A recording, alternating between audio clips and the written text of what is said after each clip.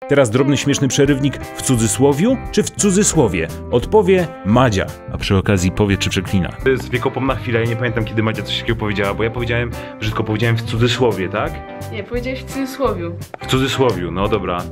A jak zapamiętać, żeby nie powiedzieć e, w cudzysłowie, tylko w cudzysłowie, bo to jest poprawnie. No. Tutaj muszę użyć, no dla niektórych to nie jest przekleństwo, ale dla mnie jest i takich słów nie używam. Więc użyję tego na mocy cytatu. Nie mówi się w dupiu, tylko w dupie. No nie? Dlatego jest w cudzysłowie, a nie w cudzysłowiu. Czyli w cudzysłowie. Tak, tak. Czy mówi się w cudzysłowie, tak? Dlaczego? Już tego nie powtórzę, ja słów nie mówię normalnie, no. Zobaczcie jaka Madzionka jest miła. Wiecie, że założyła kanał? Link jest w opisie, zachęcam do zobaczenia. Filmik na temat Krakowa. Ja z niej jestem dumny i to samo chciałem powiedzieć na filmiku. Madzia się boi złożyć tła po tym jak widziała co się działo z nim na filmiku. Się zastanawiam czy jak jej zrobię tak, to ona się wkurzy i puści to tło. Nie. Chciałbym zrobić timelapsa, że zwijamy to tło, ale nie będę nagrywać naszych tylnych części. Pod względem rodzinnym miałem mega, ale to mega fajny tydzień, dlatego że mogłem naprawdę z Madzią spędzić dużo czasu. Ona miała projekt na hiszpański, żeby nagrać filmik o Krakowie, ale jej powiedziałem, że Madzia, ty się musisz najpierw mocno przygotować, dlatego że jak zaczniesz nagrywać po hiszpańsku, to total, totalnie się rozłożysz.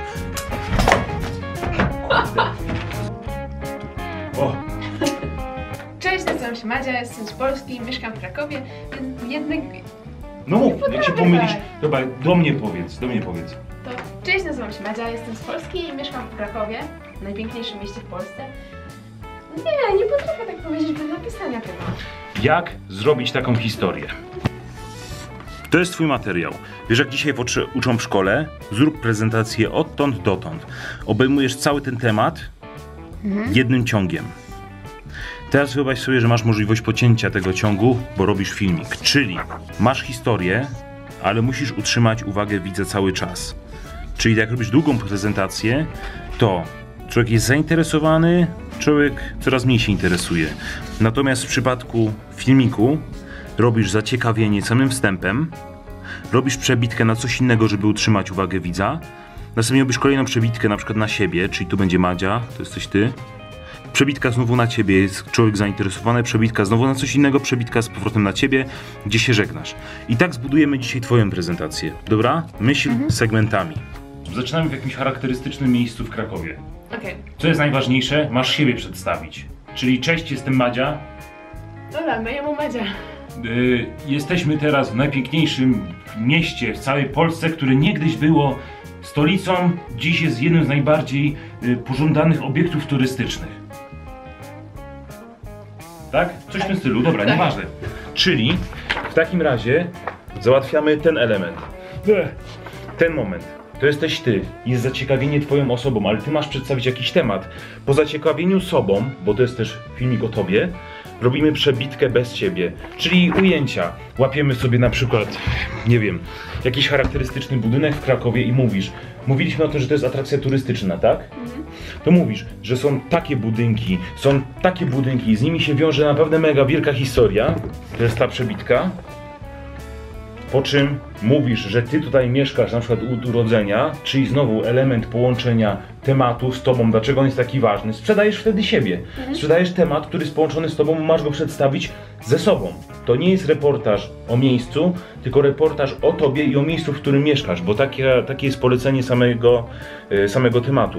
Więc znowu ty coś powiesz w jakimś charakterystycznym miejscu, jedno zdanie, dwa zdania max i znowu przebijamy na lektora, żeby zrobić to fajnie, fajnie w sposób fajny, żeby tutaj opowiedzieć. Na przykład tu opowiesz o sobie, później opowiesz o jakichś charakterystycznych miejscach, ty tu mieszkasz od zawsze, lubisz to i to, a na koniec jest to warte odwiedzenia, yy, ciekawe, yy, dużo atrakcji, jeżeli chodzi o jakiś tam, na przykład o, ludzi z Hiszpanii, żeby połączyć to z kulturą tamtą, to wtedy odnosisz się, że ludzie stamtąd też przyjeżdżają, żeby zobaczyć. Po czym mówisz, że ludzie z całego świata przyjeżdżają, bo nie możesz powiedzieć tylko o jednym. Bo jak powiesz tylko i wyłącznie o Hiszpanii, to będzie głupia sytuacja, bo to będzie takie, brzydko powiem, podlizywanie się.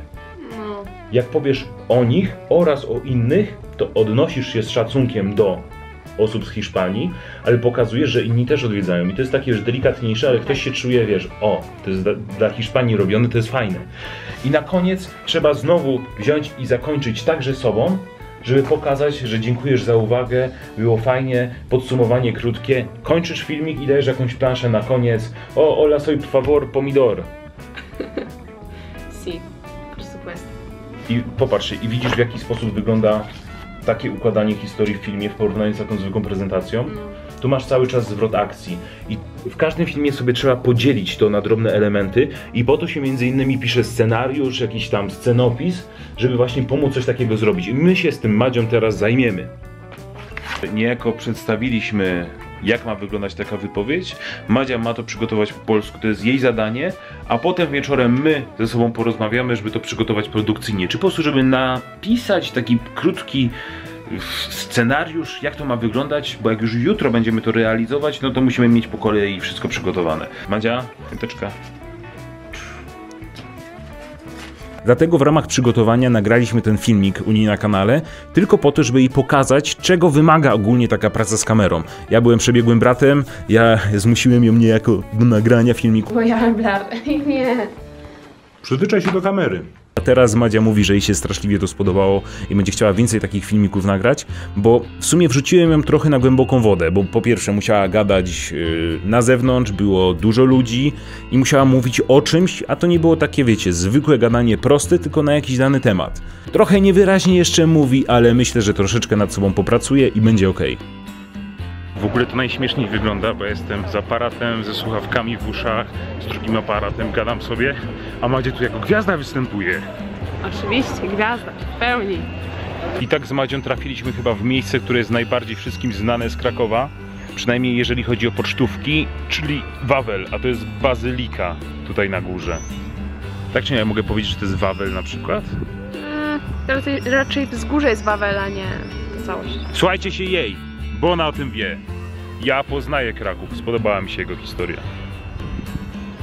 Hadzia, jak Ci się podobała taka przygoda? 2 na 10. Dwa na Takie 10. mocne. Ale dlaczego?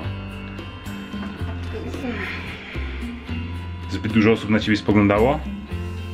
Też.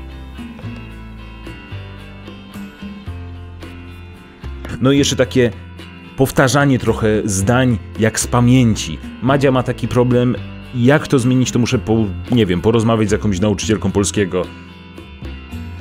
Chociaż tu mogą być zdania podzielone. W jaki sposób nauczyć się, nie pamiętając czegoś z kartki, tylko mówiąc. Dużo osób stwierdza, no to w takim razie, jak masz problem z mówieniem, to czytaj dużo książek. Uwierzcie mi, Madzia czyta dużo książek, a jak przychodzi co do czego wypowiedzieć się przed kamerą, to jest różnie, ale wiecie, magia montażu.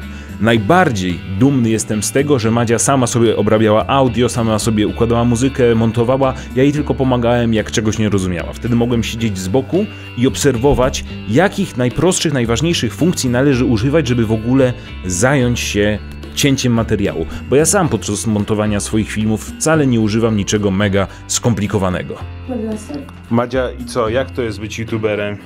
Ciężkie życie youtubera Hagata. Kurczę, ta fryzura. Wyglądam jak ziemniak, naprawdę. Ej, Madzia przeżyła ze mną dwa dni w sumie kręcenia, składania materiału i teraz już wie, jak to jest składać materiały. Zapraszam was na mój kanał. No i widzicie, tutaj na przykład braku. Zapraszam Was na mój kanał, gdzie linka znajdziecie w opisie, albo jak klikniecie tutaj, to się przeniesiecie. Widzisz, Madzia, jest tyle elementów, o których trzeba myśleć. Zaraz mecz, ja chcę już to zrobić. Ja chcę oglądać. No chyba, że tak. Skoro na mieście, to pojawia się kolejne pytanie. Ziemniaku, czy zdarza ci się kiedykolwiek idąc ulicą, że ktoś cię na przykład rozpozna? Uwierzcie mi, zdarza się. Chociaż jak z Madzią nagrywaliśmy, ona była w szoku, że ktokolwiek podszedł, a co najlepsze to była cała klasa, która była akurat na wycieczce w Krakowie, więc pozdrawiam serdecznie, a tutaj zobaczcie nagranie z tego zdarzenia. Madzie okazało się, że spotkaliśmy widzów, którzy tam idą. I Madzia, Madzi teraz było głupio, bo się czymś pierwszy raz takim spotkała. No, tak jakoś obco. Że co? Jeszcze raz pytanie? Zdjęcie. Będziemy na żywo? No nie na żywo, ale na vlogu w takim razie, dobra. Pozdrawiamy z Kołyszyn. Tak. Izę i w ogóle wszystkich.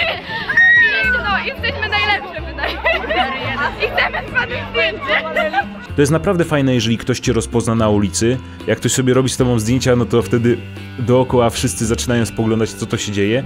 Natomiast dla mnie najprzyjemniejsze to jest po prostu się z kimś przywitać. Ktoś do mnie woła, cześć ziemniak, ja też się z nim witam i to jest miłe. Każdy ma zaplanowany jakiś czas, każdy idzie w którąś stronę i w momencie na ulicy to nie jest w żaden sposób ingeren, ingerujące czy wchodzące w jakieś przeszkadzanie sobie nawzajem. Przywitanie się jest mega i jak najbardziej spoko. Tak uważam na ulicy, bo jeżeli się idzie na event, na przykład na Videofest czy jakiś inny meetup, no to wtedy jednak wypada youtubera trochę wytarmosić, chyba że powie nie, daj, daj mi spokój, daj mi spokój na siebie. Natomiast teraz dowód dla osób, które uważają, że nie wychodzę z domu, Dzisiejszy dzień był totalnie, absolutnie bezproduktywny, ale znów jesteśmy na Starym Mieście, tak jak wczoraj z Gygiem, Kubą, Mazurem. No i znów mamy lemoniadę. I lody. Chcesz już powiedzieć? Nie, to temat tylko lody. Cisza. Ale że ty się tak nie stresujesz przed tą kamerą? Właśnie. Nie, Ja bym tak nie podrobił nie chyba wiesz co, to jest śmieszne, jak nagrywałem na przykład z Madzią wczoraj, albo przedwczoraj, nie pamiętam, to śmieszne było to, że wszyscy się patrzyli absolutnie na nas, jak coś nagrywaliśmy. Natomiast Celebrity. Nie, tak po prostu. Natomiast y, Macie to coś mnie wkurzało. Dla mnie to jest takie, no. Dużo osób spogląda, no bo. Już normalne, nie? Normalne. Chociaż jak idę sam na przykład, bez aparatu w ręce, to wtedy jest mi troszeczkę gorzej. Czyli ty Bo tak musisz to- mieć coś w ręce.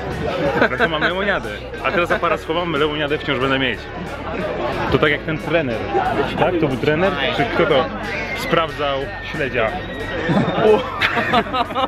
Z dwóch stron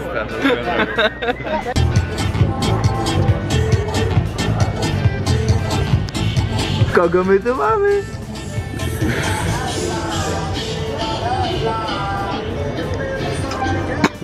Na początku widzieliście dużo różnych rzeczy u mnie na biurku. To nie jest to, że ja kupuję same jakieś syfy, wydaję pieniądze bez sensu. Jak jechałem chociażby z Wrocławia ostatnio, to totalnie usypiałem i moja głowa nie chciała się trzymać w miejscu. Często jak gdzieś podróżuję gdzieś przysnę, no to wiecie jak jest. Jedziesz tym tramwajem, może nie tramwajem, ale jedziesz na przykład pociągiem i tak się nie ustawisz, bo tu się przechyla, tam się przechyla. Takie poduszeczki kupiłem gdzieś po 3 zł czy 2,50 na Allegro. Kupiłem ich kilka, bo wiem, że one mogą mieć dosyć słabą żywotność, a zresztą jak wezmę dwie i z kimś będę podróżować, to zawsze tej osobie mogę umilić podróż. Natomiast jeżeli chodzi na przykład o jakieś takie, znowu po złotówce po 2 zł pelerynki, przeciwdeszczowe to jest ten sam element. Po prostu człowiek, jeżeli jest w podróży, to warto, żeby miał podstawowe elementy ze sobą, żeby zachować swoją y, suchość ciała oraz suchość sprzętu, który się ewentualnie znajduje w plecaku. Najważniejsze krakowskie.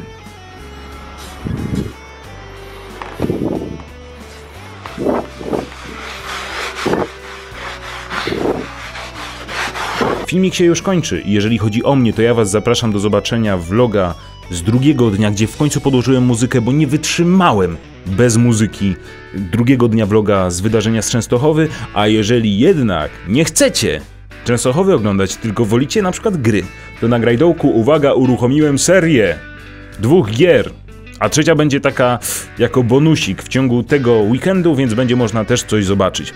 Tylko przymknijcie oko na to, w jaki sposób prowadzę. Skomentujcie, jeżeli robię coś naprawdę źle, dlatego że ja się też uczę.